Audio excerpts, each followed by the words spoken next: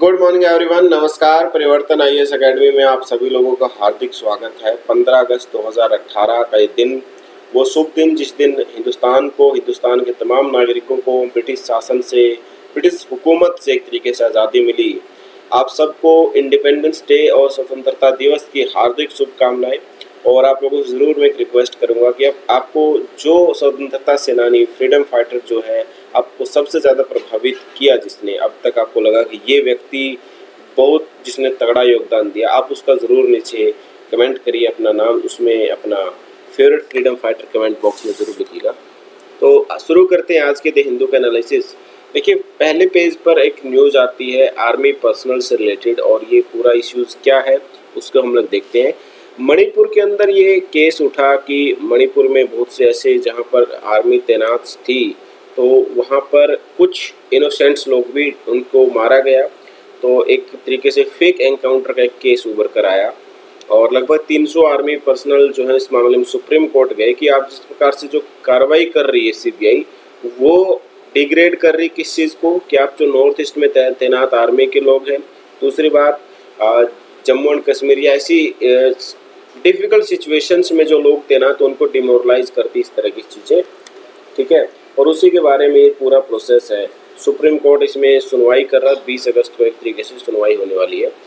Actually ज़रूरत इस बात की थी कि अगर फेक एनकाउंटर यानी आर्मी मैन हैं और अगर उनको, उनके द्वारा फेक एनकाउंटर किए गए हैं तो इसकी इंक्वायरी होनी चाहिए। रियलिटी है ये। लेकिन इंक्वायरी में एक बैलेंस भी होना ज़रूरी है। इस प्रकार से इंक्वायरी ना हो कि जो आर्मी पर्सनल है, उनके अंदर एक डिमोरलाइजेशन की फीलिंग आए, या फिर उनको लगे कि इस प्रकार की जो कार्रवाई हो रही है, वो वन साइडेड टाइप में हो रही है। ठीक है तो ये ज़रूरी है। मतलब इनोसेंट आर्मी के इनोसेंट जो ऑफिसर्स हैं, उन पर भी तरह की चीज़ें नहीं होनी चाहिए। ये भी ध्यान रखना ज़रूरी है। सेकेंड बहुत इंपॉर्टेंट है रुपी का जो लगातार डाउनफॉल हो रहा है करेंसी की जो वैल्यू गिर रही है इसके बारे में यहाँ पर कुछ इन्फॉर्मेशन है। लेकिन इस इन्फॉर्मेशन में हम लोग डिटेल से एडिटोरियल आया है। बेसिक से स्टार्ट करेंगे कि आखिर ये फंडा क्या है इशू क्या है। और 2013 के बाद 2013 के बाद हिंदुस्तान की करेंसी पहली बार इतनी लो हुई है। अगस्त 2017-13 में के बाद हम देख रहे हैं सत्तर रुपये डॉलर क्रॉस कर गई थी। ये एक चैलेंज है कंट्री के सामने। तो इसको समझेंगे इसके पॉजिटिव नेगेटिव क्या हो सकते हैं, इन सारी चीज़ों को हम लोग देखेंगे। देखिए, यहाँ पर जो न्यूज़ है, पंद्रह सौ पचहत्तर यानी one thousand five hundred seventy five, पंद्रह सौ पचहत्तर ऐसे बच्चे अभी भी हैं जो सेक्सुअली अब्यूज़ किए गए और अभी भी सेल्टर होम में रह रहे हैं। सेंट्रल गवर्नमेंट ने बताया, सुप्रीम कोर्ट में। तो आप ये कर क्या रहे हैं? मतलब आप ये बात बता रहे हैं तो क्या ये चीज़ जो आप इंफॉर्मेशन दे रहे हैं, इसके, इसका मतलब ये है कि आप लोग अभी तक कुछ किया नहीं क्या इनके बारे में? ये एक क्वेश्चन था सुप्रीम कोर्ट का। एक डाटा इन्होंने बताया कि देखिए, अगर कैटेगराइजेशन किया गया चिल्ड्रन हु सफर्ड अब्यूज बारह सौ छियासी गर्ल्स टू एटी सिक्स मतलब इतना ये डाटा दिया गया है पोर्नोग्राफी हो या number of orphans shelter homes के बारे में डिटेल्स दी गई यहाँ पर, ठीक है? कहने का मतलब सिंप्लीफाइड ये है कि आप, आपने सर्वे किया, कुछ बच्चों पर approximately nine thousand five hundred nine बच्चों पर। और आप ये बोल रहे हैं कि पंद्रह बच्चे, चाहे वो बॉयज़ हों गर्ल्स हों, या ट्रांसजेंडर हों, वो कहीं ना कहीं एक तरीके से सेक्सुअली अब्यूज़ किए जा रहे हैं और आप लोग उसमें कुछ कार्रवाई नहीं कर रहे हैं। तो एक बड़ा क्वेश्चन है कंट्री के सामने भी। और एक, ये केवल एक स्टेट की बात नहीं है अलग अलग राज्यों में हम, हमें देख रहे हैं इस प्रकार की न्यूज़ दिखाई दे रही है। तो इनको रोकने की ज़िम्मेदारी भी सेंट्रल गवर्नमेंट्स की है। और सॉरी सेंट्रल और स्टेट दोनों गवर्नमेंट्स की है। इसके अलावा हम देख रहे हैं कि ज़रूरत है कि इस प्रकार के एन इस प्रकार के जो ऑर्गेनाइजेशन चल रहे हैं सेंटर होम्स चल रहे हैं, उनको प्रॉपरली मॉनिटर किया जाए ताकि कोई भी एक्टिविटीज़ ना हो। और एक और बड़ा सवाल उठ रहा है कि कुछ गवर्नमेंट ऑफिशियल्स का इन्वॉल्वमेंट इनमें एक और चैलेंज के रूप में आती है कि जिन व्यक्तियों के हाथ में सुरक्षा होती है, अगर वही असुरक्षा की स्थिति पैदा करेंगे तो और चैलेंजिंग होगा इस कंट्री के सामने भी और उन, बच्चों के सामने खासकर। देखिए ये वाला आर्टिकल है currency cross fire the weakening rupee is an opportunity to boost export ये सारी चीज़ें क्या कि जो करेंसी की वैल्यू कम हुई है उसका उससे एक अपॉर्चुनिटी मिलती है कि हम लोग एक्सपोर्ट को यानी जो निर्यात उसको बढ़ा सकते हैं। पूरा माजरा समझेंगे आखिर ये चीज़ें हुई क्या है। देखिए, भारत की करेंसी जो है, लगातार इन दिनों में स्ट्रगल फेस कर रही है डॉलर की तुलना में और लगभग हम देखते हैं कि 68 69 के आसपास घूम रही थी। लेकिन अचानक क्या हुआ कि 70 क्रॉस हो गया मतलब 70 से ऊपर होगी। हमारी करेंसी की वैल्यू कम होगी एज़ कंपेयर टू डॉलर इसके पीछे रीज़न क्या था? सबसे बड़ा रीज़न था इसमें लीरा जो कि तुर्की की करेंसी है, वो लगभग 40 परसेंट तक गिर गई यूएस के कंपेयर में। लेकिन उन केवल दो दिनों में 16 परसेंट फ्राइडे को 6.7 परसेंट मंडे को इसका डाउनफॉल हुआ, गिर गई। इसकी वजह से क्रंची क्राइसिस भी देखने को मिल रहा है। यानी डोनाल्ड ट्रंप की जो पॉलिसीज़ है, वो दुनिया को हिला देने वाली है और दुनिया के अंदर इस प्रकार के प्रभाव दिखाई दे रहा है। और इसके पीछे रीजंस क्या था? डोनाल्ड ट्रंप ने जो तुर्की पर स्टील एंड एल्यूमिनियम पर डबल सेंसेशन लगाया। स्टील एंड एल्यूमिनियम पर तो पूरे विश्व में सेंसेशन लगाया। भारत पर भी उसका पर, को भी लगाया गया और भारत ने भी काउंटर किया है। लेकिन तुर्की पर डबल कर दिए गए और इसलिए तुर्की बोल रहे हैं कि हम लोग भी डबल कर देंगे। यानी जो ये अभी ट्रेड वार पूरे वर्ल्ड के अंदर सुनामी के रूप में उभरा है। स्टील एंड एल्यूमिनियम वही आइटम है जिसके माध्यम से यूएसए ने स्टार्ट किया था ट्रेड वार और फिर चाहे चाइना पर हो और उसके बाद हम देख रहे हैं कनाडा, यूरोपियन यूनियन अलग अलग कंट्रीज़ अलग अलग कॉन्टिनेंट्स की कंट्रीज़ के थ्रू इस प्रकार के सेंसेशन प्रतिबंध लगाए, लगते हुए दिखाई दे रहे हैं। हाल ही में ईरान का हमने देखा कि ईरान की करेंसी लगातार मतलब एक तरीके से न्यूनतम स्तर पर पहुँचती जा रही है। यानी यूएसए के पास जो स्ट्रेंथ और पावर थी वो उसका यूज़ करते हुए कंट्रीज़ को डुबोने की हालत में अभी पहुँचाने की स्थिति में है। और यहाँ पर ऐसी करेंसी ऐसी कंट्री काफ़ी सफ़र करेगी, जिनके पास पोटेंशियल कम है, जिनके पास लगेगा कि ये खुद की इकोनॉमी पर एक तरीके से ज़्यादा डिपेंडेबल है।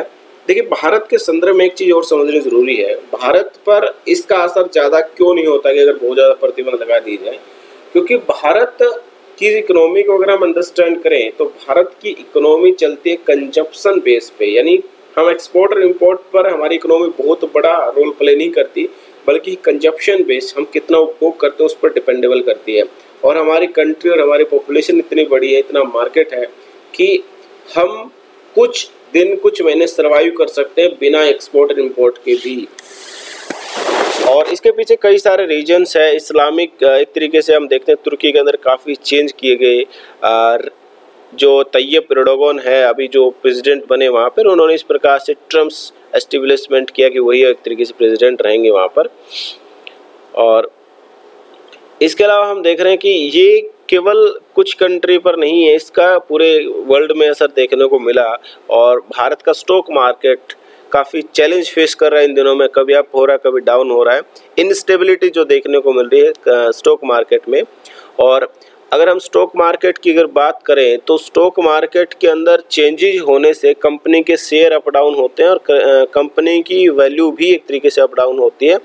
इसके अलावा अगर आपने 2018 17 18 का सॉरी 2017 18 का सर्वे पढ़ा हो तो उसके अंदर भी एक बात बोली गई थी कि इकोनॉमिक जो सॉरी स्टॉक मार्केट वो बहुत चैलेंजिंग होगा कंट्री के लिए इस बार, क्योंकि स्टेबिलिटी शायद ना हो पाए। ये एक सबसे बड़ा चैलेंज था। इसके अलावा सत्तर से ऊपर जो वैल्यू हुई है, हालाँकि इसका बेनिफिट भी हो सकता है भारत के लिए, क्योंकि इसमें भारत की जो फोरेक्स रिज़र्व है फोरेक्स रिज़र्व 400 बिलियन डॉलर या ऐसी अमाउंट जो मतलब हम फॉरेन करेंसी के रूप में या फॉरेन इस प्रकार की करेंसी के एवज में वैल्यूज़ के बराबर हमारे पास 400 बिलियन डॉलर अमाउंट है, जो कि एक बड़ी अमाउंट कह सकते हैं। और इसके माध्यम से हम मोस्टली ट्रेड जो होता है, वो फॉरेन करेंसी में होता है, और उसमें भी सबसे ज़्यादा होता है यूएस डॉलर के अंदर। एक्सपोर्ट बढ़ा सकते हैं। एक्सपोर्ट कैसे बढ़ा सकते हैं? फॉर एग्ज़ाम्पल अगर हमारी करेंसी की वैल्यू कम होती है तो हमसे जो खरीदेगा, वो सस्ता खरीदेगा, और हम जो आयात करेंगे इम्पोर्ट करेंगे, वो बहुत कॉस्टली हो जाएगा। ये एक नेगेटिव होगा। इसके अलावा हम लोग दो तीन आइटम ऐसे हैं जो हम लोग बहुत ज़्यादा मात्रा में इंपोर्ट करते हैं। पहला क्रूड ऑयल और दूसरा गोल्ड है। गोल्ड हम बहुत ज़्यादा इंपोर्ट कर रहे हैं और इन दोनों के मामले में हमारी करेंसी के लिए नेगेटिव है, लेकिन ओवरऑल इम्पोर्ट हम देख सकते हैं कि बढ़ना तय हो सकता है। ये देखिए ऑयल प्राइसेस हमेशा रिस्क पर बना हुआ है और ये सारी चीज़ें अभी भी है कि एक अपॉर्चुनिटीज़ तो दिखाई देती है कि हम लोग एक्सपोर्ट बढ़ा दें, अपना निर्यात बढ़ा दें, लेकिन चैलेंज भी है। ये आखिर इसमें कहने का इशू था। देखिए, ये आर्टिकल है गजनी, जो कि अफ़गानिस्तान के अंदर है, और वहाँ पर तालिबान की जो प्रेजेंस बढ़ती जा रही है, उसके बारे में। इससे पहले हम लोग थोड़ा मैप देख लेते इस आर्टिकल को डिस्कशंस करेंगे। देखिए, ये गजनी है, और ये वही गजनी है जो मोहम्मद गजनवी भारत में आया था, और इससे काबुल बहुत क्लोज पड़ता है, ठीक है? तो पाकिस्तान की तरफ़ से काफ़ी इसमें एक तरीके से प्रेजेंस बढ़ाई गई है। पाकिस्तान सपोर्ट करता तालिबान को अब हम समझते हैं पूरा माजरा क्या है। देखिए, अभी हाल ही में वहाँ पर वायलेंस बहुत ज़्यादा हुई कि लगभग 100 सोल्जर्स जो है वो मार दिए गए तालिबान द्वारा और एक तरीके से कैप्चर करने का प्रयास हो रहा है। गजनी सिटी को वो कैप्चर करते जा रहे हैं। अगर गजनी कैप्चर हो जाती, गजनी को वो एक तरीके से अपने हाथों में ले लेते हैं तो इसका मतलब ये होगा कि वो काबुल के बहुत ज़्यादा करीब हो जाएगा। और जैसे जैसे इनकी प्रेजेंस बढ़ रही है, इसका मतलब ये है कि वहाँ पर जो कंट्री है, उसके अंदर गवर्नमेंट पूरी तरीके से फेल हुई है। आप एक एक कंट्री का एग्जांपल लेंगे जिसमें इस प्रकार की चीज़ें हो रही है, या फिर जितनी मिलिटेंसी या जितनी आतंकवादी फैल रहे हैं, उसके पीछे सबसे बड़ा रीज़न है गवर्नमेंट का फेलियर होना। आप सीरिया देख लीजिए इराक देख लीजिए। इन कंट्री में सबसे ज़्यादा क्यों है? क्योंकि गवर्नमेंट फेल रही एक तरीके से एस्टिब्लिशमेंट करने में, अपना डेवलपमेंट करने में भी। इसके अलावा हम देख रहे हैं कि एक तो इंटरनल फैक्टर होता है, इसके अलावा एक्सटर्नल फैक्टर में अगर हम देखें कि यूएस इसमें एक तरीके सपोर्ट करता था। और अभी, लेकिन यूएस ने पिछले दिनों कहा कि हम लोग बात करेंगे तालिबान से, बातचीत भी हुई उनकी और दोहा के अंदर एक तरीके से बात हुई, ठीक है? दोहा के अंदर बात हुई और एक तरीके से कहा कि हम लोग शांति प्रोसेस पर फॉलो करेंगे, लेकिन इस प्रकार की कहीं नज़र नहीं आती कि तालिबान वहाँ पर कोई शांति दिखाएगा। तालिबान की जो प्रेजेंस है, वो पाकिस्तान में चले आते हैं, कभी वहाँ चले जाते हैं। लेकिन यहाँ एक और चीज़ें दिखाई देती है कि जो अशरफ गनी प्रेसिडेंट थे, उन्होंने किस प्रकार की अपील कर रही थी कि आप लोग मुख्य धारा में आइए, आप लोग राजनीतिक पार्टी के रूप में आइए, आप लोग कुछ पावर भी दी जाएगी। इससे पता चलता है गवर्नमेंट की जो सिचुएशंस है, कितनी खराब हालत में है। इस समय सिचुएशंस को देखिए। अलग अलग सिटीज़ में अलग अलग में जिस प्रकार से प्रेजेंस बढ़ रही है तो इन फ्यूचर ये काफ़ी चैलेंजिंग होगा। और रही बात हिंदुस्तान और अफ़गानिस्तान पर क्या, के संबंधों पर क्या प्रभाव पड़ेगा? देखिए, भारत के लिए बड़ी चुनौती हो जाएगी, क्योंकि भारत इस समय पाकिस्तान या अलग अलग की तरफ़ से भी एक तरीके से टेररिज्म को फेस कर रहा है। अगर अफ़गानिस्तान में भी इंस्टेबिलिटी हो जाती है तो जो हम लोग एक ड्रीम देखते हैं कि हम मध्य एशिया तक सेंट्रल एशिया तक पहुँच बनाने की कोशिश कर रहे हैं वो हमारा ड्रीम इनकम्प्लीट हो जाएगा, क्योंकि अफ़गानिस्तान को कट कट जाने के बाद, अगर मैं आपको मैप दिखाऊँ तो बड़ा चैलेंजिंग हो जाएगा हमारे लिए, क्योंकि हम चाहते हैं कि ऐसे एक्सेस करें, लेकिन फिर हमारे लिए बहुत, हम पूरी तरीके से ईरान पर डिपेंडेबल हो जाएँगे। और ईरान इन दिनों वैसे ही संकट झेल रहा है। ईरान की खुद की तसल्ली नहीं कि वो कितने दिन तक सर्वाइव कर पाएगा। और हमारे ऊपर भी एक तरीके से अभी चैलेंज होगा कि हम लोग कितने दिन तक ईरान के साथ बने रह सकते हैं। और ये क्वेश्चन मार्क है। इसीलिए बोला जा रहा है कि भारत के लिए अफ़गानिस्तान बहुत ज़्यादा इम्पोर्टेंट है। सिक्योरिटी और आ, नो जो सेंट्रल एशिया है उनको एक्सेस करने के लिए। ठीक है? देखिए यहाँ पर बात करेगी भारत और पाकिस्तान के बीच में ट्रेड रिलेशनशिप के बारे में। और ये आखिर न्यूज़ में क्यों आया? प्राइम मिनिस्टर जो इमरान खान बनने वाले वहाँ के उन्होंने 26 जुलाई को इंटरव्यू दिया। स्पीच दिया था कि भारत और पाकिस्तान के बीच में अगर ट्रेड रिलेशनशिप स्ट्रॉन्ग होते हैं, दोनों कंट्रीज़ को फ़ायदा हो सकता है। तो इसको थोड़ा समझते हैं कि आखिर ये क्या इशू है, कैसे फ़ायदा हो सकता है। तो काफ़ी चीज़ें उन्होंने बताई। भारत और पाकिस्तान के मध्य जो ट्रेड होता था 2013-14 में, वो था दो दशमलव सत्तर बिलियन डॉलर, ठीक है? इसके बाद दो हज़ार सत्रह अठारह में पहुँच गया, दो पॉइंट चालीस, यानी कम होता गया ट्रेड हालाँकि पाकिस्तान की तरफ़ से ठीक ठाक ट्रेड है, लेकिन भारत की तरफ़ से लगातार कम होता गया और इसमें मोस्टली लेकिन ये तो केवल एक हिस्सा है। इसके अलावा भी हम देख रहे हैं कि इनडायरेक्ट ट्रेड यानी ऐसी कंट्री थर्ड कंट्री के थ्रू ट्रेड भी हो रहा, जो कि लगभग टेन टाइम्स हो सकता है, जैसे यूएई के थ्रू ट्रेड कर लेना हो। ये एक अलग हम देख रहे हैं कि कहीं ना कहीं प्रेजेंस तो है। इसके बाद इन्होंने बात करी कि भारत और पाकिस्तान अगर ट्रेड रिलेशनशिप को स्ट्रॉन्ग कर लेते हैं तो इससे काफ़ी अपॉर्चुनिटीज़ होगी दोनों कंट्रीज़ के लिए और इसमें अलग अलग सेक्शंस में बताया गया कि कहाँ कहाँ पर किस किस सेक्टर में हम लोग ट्रेड कर सकते हैं। जैसे इन्होंने बताया रॉ मटेरियल के बारे में कॉटन हो गया फैब्रिक डाई या ग्रे फैब्रिक के बारे में बताई पोलिस्टर चिफोन नाइलॉन या ब्लेंडेड फैब्रिक कॉटन पोलिस्टर इस प्रकार की चीज़ें। इसके अलावा चाहे वो क्लोथ्स के मामले में हो या फिर जो स्पोर्ट्स से रिलेटेड जितने भी आइटम्स होते हैं उनके मामले में ट्रेड्स के बारे में बात करेगी। हेल्थ सेक्टर में बड़ा बदलाव कर सकते हैं। आ, क्योंकि इंडिया तो डेफिनेट सी बात है इंडिया हेल्थ सेक्टर में बहुत ज़्यादा ग्रो कर चुका है। इंडिया की जो हेल्थ सेक्टर है वो दुनिया के तमाम देशों में एक तरीके से बेस्ट हेल्थ सेक्टर्स में से कह सकते हैं। और बहुत से कंट्री जो हैं वो इंडिया में आते हैं। अगर दोनों के बीच में ट्रेड रिलेशनशिप स्ट्रॉन्ग होते हैं तो हेल्थ सेक्टर इंडिया के लिए भी इम्पोर्टेंट हो जाएगा। और लेकिन ये जो सारी चीज़ें उन्होंने बताई कि ठीक है, ये सारी चीज़ें हो जाएँगी और सार्क के माध्यम से हम लोग ट्रेड को इंक्रीज करें।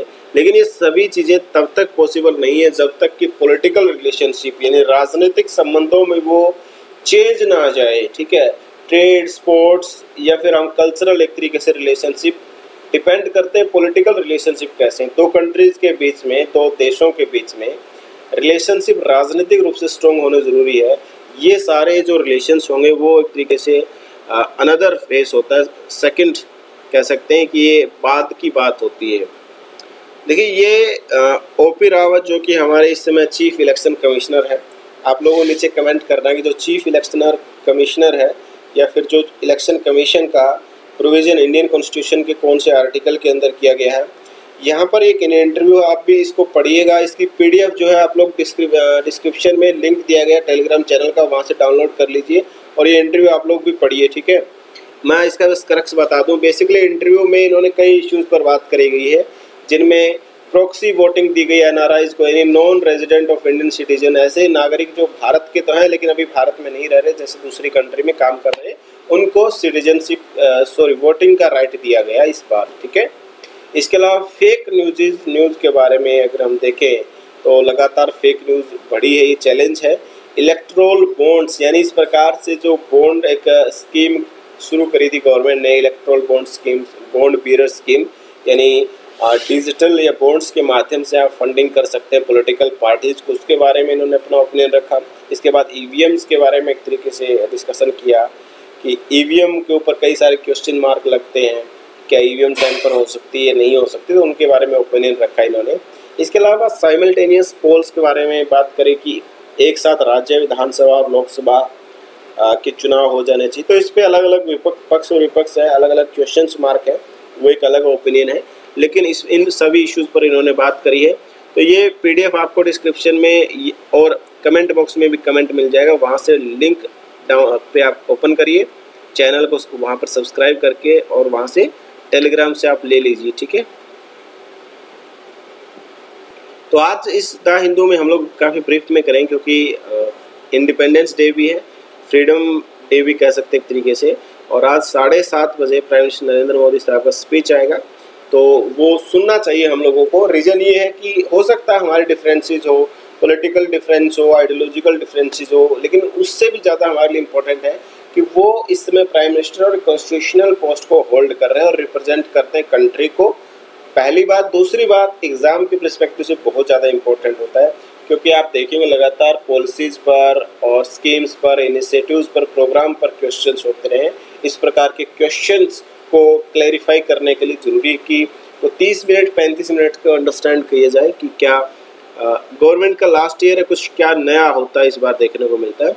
और आपने देखा होगा कि जब भी वो स्पीच देते हैं, खासकर इंडिपेंडेंस डे पर, वो बहुत इंपॉर्टेंट और जितनी भी स्कीम्स लॉन्च हुई है वो स्पीच के बाद मोस्टली दिखाई देती है तो ये चीज़ें ध्यान रखनी है। तो thank you so much friend जय हिंद और अगेन आप सबको हैप्पी इंडिपेंडेंस डे स्वतंत्रता दिवस की ढेरों शुभकामनाएँ। जय हिंद, खुश रहिए, मस्त रहिए और आगे बढ़ते रहिए। धन्यवाद।